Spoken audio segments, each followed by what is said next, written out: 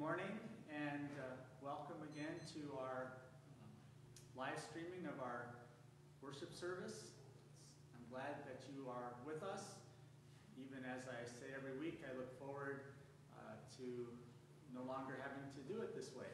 But it looks like we'll have to do this for at least a few more weeks, if not a month or so. So I thank you for watching and uh, pray God's blessings on all of you.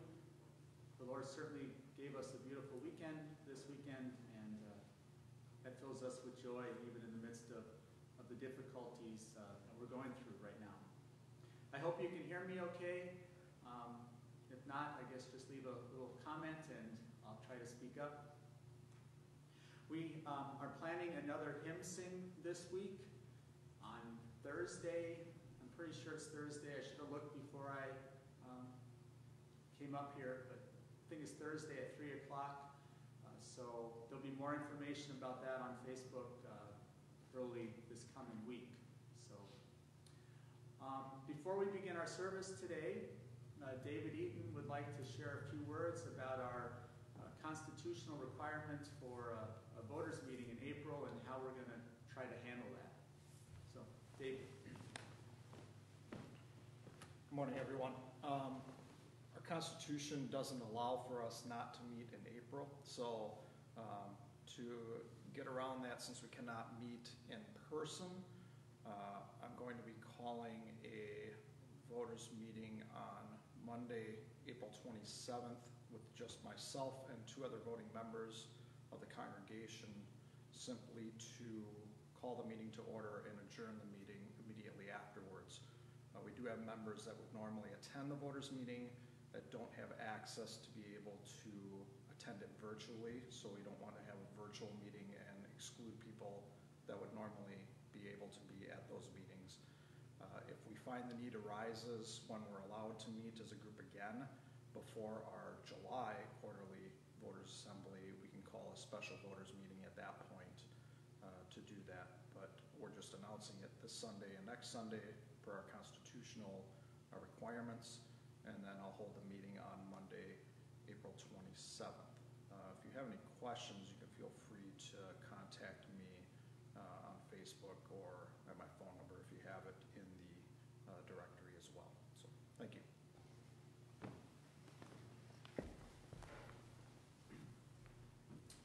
And thank you, David. Reminder the business and work of the church continues even in the midst of these uh, trying times. And so with that, we'll begin our service this morning. Uh, thank you again for watching. Our uh, first hymn this morning is hymn number 470, verses 1 through 4, O sons and daughters of the King.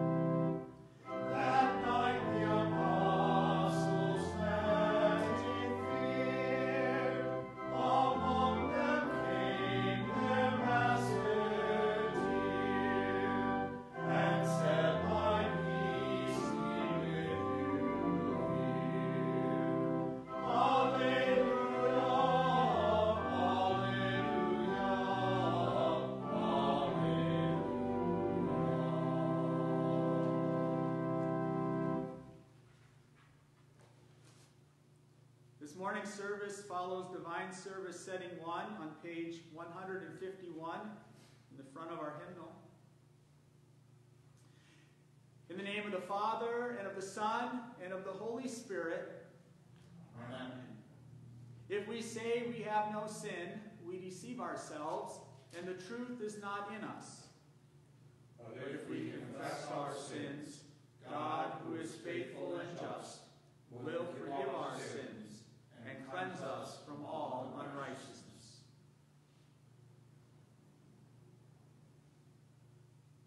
Let us then confess our sins to God our Father. Most merciful God, we confess that we are by nature sinful and unclean. We have sinned against you in thought, word, and deed, by what we have done, and by what we have left undone. We have not loved you with our whole heart. We have not loved our neighbors as ourselves. We justly deserve your present and eternal punishment. For the sake of your Son, Jesus Christ, have mercy on us. Forgive us, renew us, and lead us, so that we may delight in your will and walk in your ways to the glory of your holy name. Amen.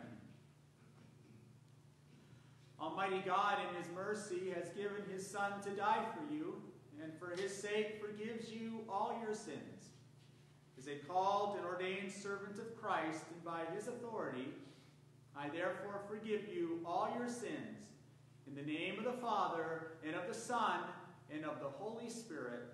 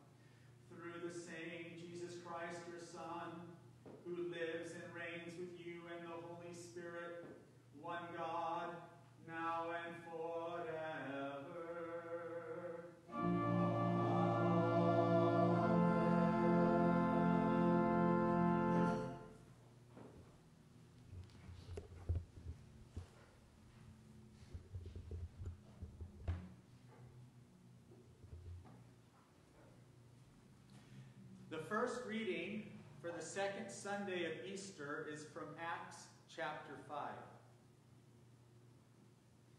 But Peter and the apostles answered, We must obey God rather than men. The God of our fathers raised Jesus, whom you killed by hanging him on a tree.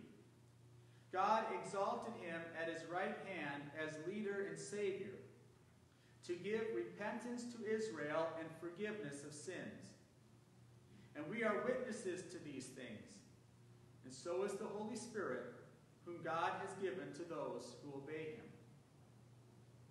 When they heard this, they were enraged and wanted to kill them. But a Pharisee in the council named Gamaliel, a teacher of the law held in honor by all the people, stood up and gave orders to put the men outside for a little while. And he said to them, Men of Israel, take care what you are about to do with these men. For before these days, Theudas rose up, claiming to be somebody, and a number of men, about 400, joined him. He was killed, and all who followed him were dispersed and came to nothing. After him, Judas the Galilean rose up in the days of the census and drew away some of the people after him. He too perished, and all who followed him were scattered. So in the present case, I tell you, keep away from these men and let them alone. For if this plan or this undertaking is of man, it will fail. But if it is of God, you will not be able to overthrow them. You might even be found opposing God. So they took his advice, and when they had called in the apostles, they beat them and charged them not to speak in the name of Jesus, and let them go. Then they left the presence of the council, rejoicing that they were counted worthy to suffer dishonor for the name. And every day in the temple and from house to house, they did not cease teaching and preaching Jesus as the Christ. This is the word of the Lord. Thanks be to God. The epistle is from 1 Peter chapter 1. Blessed be the God and Father of our Lord Jesus Christ. According to his great mercy, he has caused us to be born again to a living hope through the resurrection of Jesus Christ from the dead, to an inheritance that is imperishable, undefiled, and unfading, kept in heaven for you, who by God's power are being guarded through faith for a salvation ready to be revealed in the last time. In this you rejoice though now for a little while, if necessary, you have been grieved by various trials, so that the tested genuineness of your faith, more precious than gold that perishes though it is tested by fire, may be found to result in praise and glory and honor at the revelation of Jesus Christ. Though you have not seen him, you love him. Though you do not see him, now you believe in him and rejoice with joy that is inexpressible and filled with glory, obtaining the outcome of your faith, the salvation of your souls. This is the word of the Lord. Thanks be to God.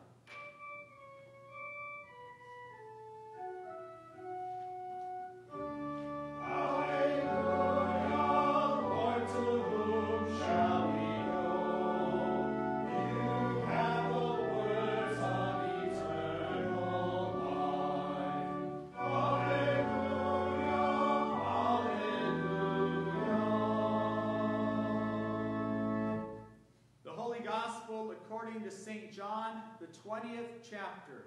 Glory to you, O Lord. On the evening of that day, the first day of the week, the doors being locked where the disciples were for fear of the Jews, Jesus came and stood among them and said to them, Peace be with you. When he had said this, he showed them his hands and his side. Then the disciples were glad when they saw the Lord. Jesus said to them again, Peace be with you. As the Father has sent me, even so I am sending you. And when he had said this, he breathed on them and said to them, Receive the Holy Spirit. If you forgive the sins of anyone, they are forgiven. If you withhold forgiveness from anyone, it is withheld. Now, Thomas, one of the twelve, called the twin, was not with them when Jesus came. So the other disciples told him, We have seen the Lord. But he said to them, Unless I see in his hands the mark of the nails, and place my finger into the mark of the nails, and place my hand into his side, I will never believe. Eight days later, his disciples were inside again, and Thomas was with them. Although the doors were locked, Jesus came and stood among them and said, Peace be with you. Then he said to Thomas, Put your finger here and see my hands, and put out your hand and place it in my side. Do not disbelieve, but believe. Thomas answered him, My Lord and my God. Jesus said to him, Have you believed because you have seen me? Blessed are those who have not seen and yet have believed. Now Jesus did many other signs in the presence of the disciples, which are not written in this book.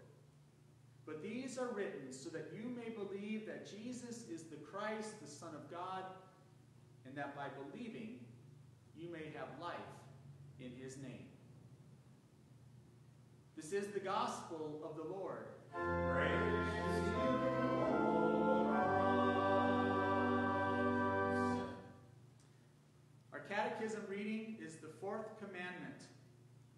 Honor your father and your mother. What does this mean? We should fear and love God so that we do not despise or anger our parents and other authorities, but honor them, serve and obey them, love and cherish them. We continue with our hymn of the day, hymn 470, verses 5 through 9, O sons and daughters of the King. Thank you.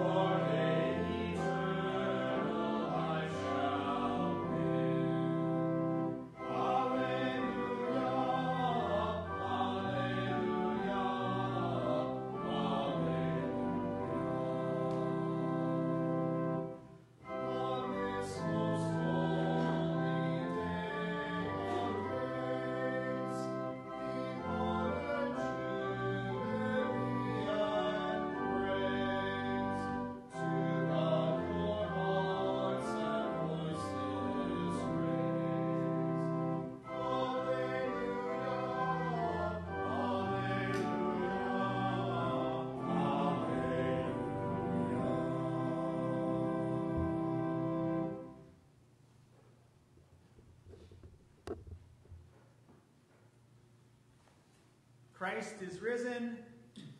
He is risen indeed. Hallelujah. Grace to you and peace from God our Father and our Lord and Savior, Jesus Christ. Amen. I'm sure you've all seen the commercials for devices such as Google Home and Amazon Echo. They're called smart speakers. When you ask it a question or give it a command, it dutifully answers and obeys you. For example, hey Google, what's the weather forecast this weekend? Or hey Siri, call mom for me. Or Alexa, set my alarm for 7 a.m. My daughter Annika has one of these, and she uses it all the, all the time to play music from her iPhone from across the room. She tells it when to start, when to stop, what song to play, etc. It's pretty neat. These smart speakers not only have added an extra level of convenience to modern life, but they've also given new power to the human voice. We speak and they obey. It's the sort of thing that was just science fiction, that was science fiction just a few years ago. At a time when most of the information that went into a computer was, was on a punch card, Captain Kirk and others on the USS Enterprise of Star Trek, well, they would talk to a computer. Well, now, more than 50 years later, all of us can talk to a computer. We can dictate a letter to our word processing program, and the computer will type it up for us. We can surf the internet without touching the keyboard. You can even call up a a recipe on your iPad or tablet in the kitchen without even dirtying the screen. Pretty neat. God created the voice to have power. And this was true even before the advent of Siri, Alexa, or Google. For example, when sea lions gather in large colonies to raise their young, hundreds of pups will swim out into the water and then swim back to shore. And once, on, once they're back on shore, they find their mothers by listening for the distinct sound of their own mother's voice. In time, all the young find their way back to their own moms. But what is true for the voice of sea lions is also true for the human voice. I'm sure all of you have memories of your mom calling you home for supper. And as we'll see today, what is true for the human voice is even more true for the voice of God. Easter is, among other things, about the power of the voice. On this second Sunday of Easter, the, list, the risen Lord Jesus comes to you and me to speak his peace into our hearts so that we may then speak and share that peace with the world. This is what we read in this morning's gospel. After Mary and the other women told Jesus' disciples that Jesus had risen from the dead, the disciples didn't really believe them. By the evening of that day, the disciples are hiding behind locked doors. Like a bunch of little rabbits afraid that the big bad wolf is coming after them. My friends, this is the church at its absolute worst. Hunkered down, huddled together, letting fear rather than faith control their every thought and action. And then suddenly Jesus comes and stands among them. John says the disciples were glad when they saw the Lord. But did you notice that in their joy, not one of them apologizes for his behavior over the past few days? No one says that he's sorry or that he should have done better. Perhaps part of the reason for this is that they don't have a chance to say anything. Instead, it's Jesus who speaks the first word. And just as was the case at the sound of God's voice at the beginning of creation, God said, Let there be light, and there was light. So that Easter evening, the sound of Jesus' voice creates something new and wonderful too. Peace be with you, Jesus says to his frightened disciples. My friends, this is not a wish or a hope. It is his gift to them. Peace be with you. And with his word, there is peace and joy. The disciples began to realize that evening that this divine peace and joy was the whole point of everything that Jesus had just gone through. Jesus' death on the cross was to reestablish the peace between God and man that had been shattered when we first sinned.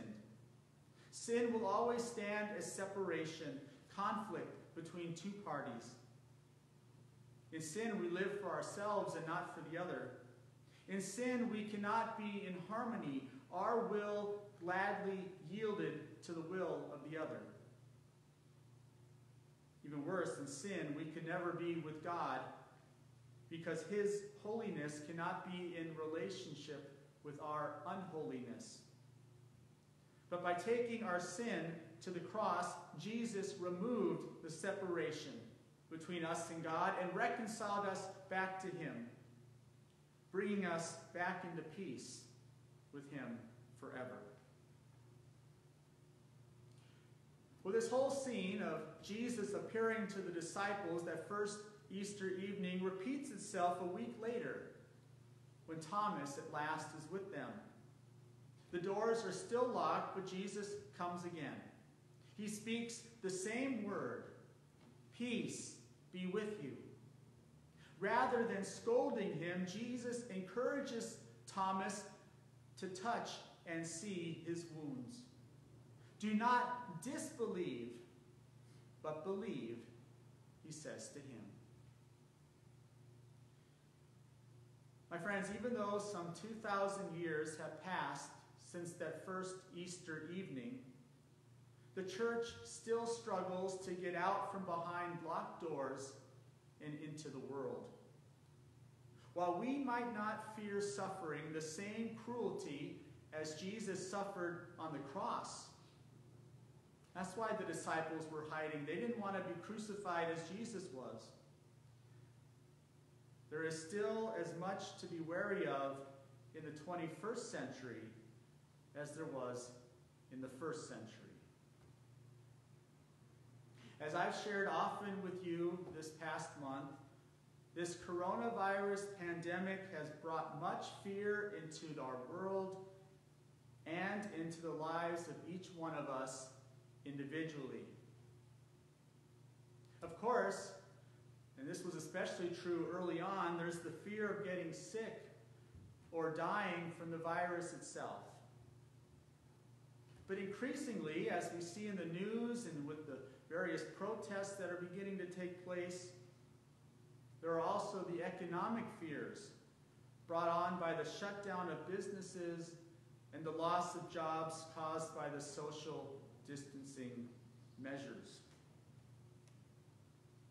Our congregation, as all congregations, is a business of sorts, with bills and employees to pay. And so we're not immune from these fears either. We rely on the generous voluntary giving of our members. As you know, church budgets can be tight even in the best of times. And so, in this present crisis, it's not unreasonable to begin to wonder that if many of our members are forced out of work and aren't drawing an income themselves, then how can they be able to support the church? Admittedly, this thought has crossed my mind a time or two as one whose livelihood is dependent on the offerings of our people. And so, during this time, not only do we worry about ourselves, our family, our friends, but we also worry about our church. My friends, Grace is blessed with many generous and faithful members, and we are doing well financially right now. I give thanks to God for this, and I give thanks to you. But we also know that the longer this goes on, the shutdown goes on, the more everyone, including the church, will suffer financially. The governor's safer at home order has been extended to May 26th. So, unless that changes, the earliest we can gather together for Sunday worship again is Pentecost, May 31st. That's a long time from now. The entire Easter season will be all but over by then. So you have to wonder how will this continued shutdown impact our church finances, let alone the finances of our church members who are out of work. Then again, we also know that if the social distancing measures are lifted too soon, then the virus may begin to infect, sicken, and kill more people. What a terrible predicament, conundrum we are in. Certainly, these are anxious and fearful times. The temptation when we are afraid, regardless of why or the circumstances, the temptation when we are afraid is to focus all our attention on our fear and let that fear paralyze us. Our text from this morning's gospel is not about how the world locks its doors to the gospel, but how the church locks itself away from the world. The irony of the disciples' locked doors is that they weren't really keeping out any Roman soldiers who might have been looking to arrest and crucify them. The soldiers could have broken down those doors without any trouble. The disciples also weren't keeping out any Jewish leaders or authorities, Pharisees or scribes or whomever who may have wanted to ridicule and scorn them for following Jesus. No, the one they were locking out was Jesus himself. They locked out of their minds and hearts the word that Jesus had so clearly spoken to them about his dying and rising again. And so, locking out that word of Jesus, they locked out Jesus. When fear becomes our focus, we fall into the same trap. We lock out the Lord, who time and time again tells his church, do not be afraid. Well, as we heard, Jesus will have none of their fear that first Easter evening. The securely locked doors are no match for him. If the grave could not keep him in the ground, then their padlocks would not keep him outside the room where they were hiding. And so he comes and stands among his frightened disciples and speaks his word, a word that brings the very thing it says Peace be with you. My friends, this is Jesus' word to you this second Sunday of Easter. Peace be with you. Peace, your sin is forgiven. Do not fear the world. I have overcome the world. Peace be with you. That word comes to you and me today with exactly the same power as it came to the first disciples that Easter evening and to Thomas a week later. As St. John writes, these words are written so that you may believe that Jesus is the Christ, the Son of God, and that by believing you might have may have life in his name. In his word, Jesus comes among us today and we experience the power of his voice. Jesus doesn't just tell us about peace, he actually speaks and gives peace to you and to me. As Martin Luther puts it, as soon as he said it, it was done. Jesus spoke his peace to you in the water of your baptism. where you were joined to his death and resurrection, and you died to sin and rose to new life. That peace is spoken to you every time you return in repentance to your baptism, and he speaks to you through your pastor I forgive you all your sins in the name of the Father, and of the Son, and of the Holy Spirit. That peace is spoken to you at his table, wherein with and under the bread and wine, Jesus comes through space and time to feed you his very body and blood for the forgiveness of your sins and to lift from you your fears. There his voice speaks peace. This is for you, he says, for the forgiveness of your sins. And we depart from his table in peace, ready to go out into the world. As the Father has sent me, even so I am sending you, Jesus said to his disciples that Easter evening. My friends, Jesus says the same to you and me today. The Lord cannot be bound, his word will not be bound, and his followers do not live behind locked doors. He sends us out into the world, but we don't go empty handed. He breathes his Holy Spirit upon his disciples. And to his church, he hands the keys to the kingdom of heaven. Jesus says, If you forgive the sins of anyone, they are forgiven. If you withhold forgiveness from anyone, it is withheld. And with that, we, like those first disciples, are sent out into the world to be the voice of peace. Our voices, our human voices, become voices of power not because they are louder, wiser, or more entertaining than other voices, but because through our voice, Jesus himself speaks.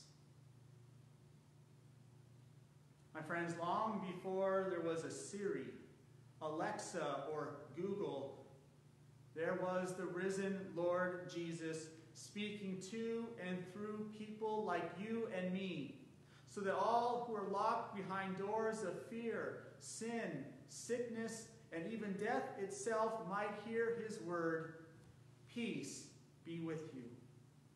He gives that peace to you, the members and friends of Grace Lutheran Church, so that you may rest in his peace, knowing that he will provide for your families and for our church family according to his good and gracious will.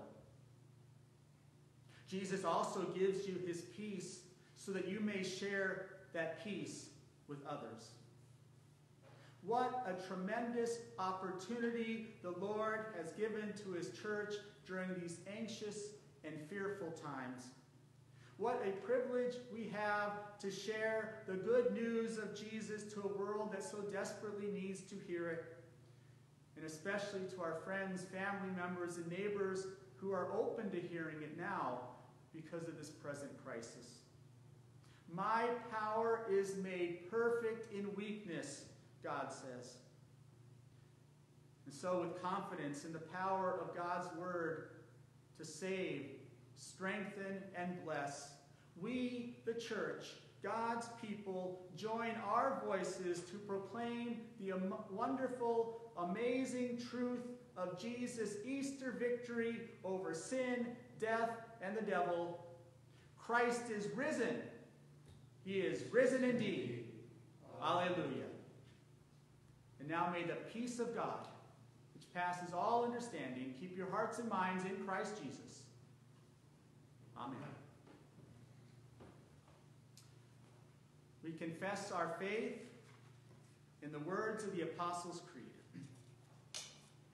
I believe in God, the Father maker of heaven and earth, and in Jesus Christ, his only Son, our Lord, who was conceived by the Holy Spirit, born of the Virgin Mary, suffered under Pontius Pilate, was crucified, died, and was buried. He descended into hell. The third day he rose again from the dead. He ascended into heaven and sits at the right hand of God Father Almighty. From thence he will come to judge the living and the dead. I believe in the Holy Spirit, the holy Christian church, the communion of saints, the forgiveness of sins, the resurrection of the body, and the life everlasting. Amen. Let us pray for the whole church of God in Christ Jesus and for all people according to their needs. God of mercy, keep us from the doubts and fears that cripple us and prevent us from knowing the fullness of your saving peace and gracious presence. Teach us to trust in your word and to believe with all our hearts, minds, bodies, and strength in your Son, Jesus Christ, crucified for our sins and raised for our justification. Lord, in your mercy, hear our prayer. God of power, give courage and strength to those persecuted for the faith, and comfort the family of the martyrs. Keep your church from following the winds of change, and make her steadfast in the doctrine of the apostles and the faith once delivered to the saints. Help us to admonish those who have fallen away from your word, and to restore with gentleness those who have wandered from the truth. Lord, in your mercy, hear our prayer. God of might, counsel the nations and their leaders in the paths of peace and justice. Bless us with wise, faithful, and just leaders who protect the sanctity of life and defend us against all enemies, foreign and domestic. Make us wise and discerning citizens who use the gift of liberty for noble purposes. Lord, in your mercy, hear our prayer. God of love, teach us to love one another as you have loved us. Guide us so that in our neighborhoods and communities we may manifest the love of Christ as well as his strength. Deliver us from all that would threaten our homes and families, especially this pandemic. Protect the police, firefighters, disaster relief workers, and medical personnel who attend to us, as well as the places where we live and work. Lord, in your mercy, hear our prayer. God of comfort, give your aid and relief to all who suffer want or need, to the sick in their afflictions, to those troubled in mind, and to those to whom death draws near.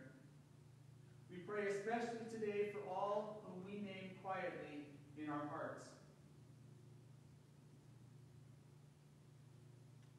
Heal and sustain them according to your gracious will, and preserve them in faith to eternal life.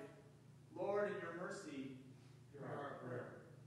God of hope, be with those who grieve the loss of loved ones. Point them to the promise of the resurrection and the gift of everlasting life to all who die in Christ. Deliver us from the distractions of things that do not matter, that we may focus on the needful things of your word and sacraments, and so be found faithful when our Lord returns in his glory. Lord, in your mercy, hear our prayer. God of compassion, bless us with the good gifts of the earth, with the fruits of our honest labors, and with a kind and generous heart. Bless the members of our congregation, especially those who are celebrating birthdays this week, as well as the families on our prayer list, namely the families of Wes Gardner, Scott Garner, and Thomas Garner. Accept the worship of our hearts and voices along with the tithes and offerings we bring as part of our gratitude and thanksgiving. Open our eyes and hearts to the needs of the poor, that we may serve them in your name. Increase in the hearts of your people delight in your mercy, gratitude for all your benefits, and eagerness to support the mission of your church in word and deed. Lord, in your mercy, hear our prayer. Into your hands, O Lord, we commend all for whom we pray, trusting in your mercy through your Son, Jesus Christ our Lord. Amen.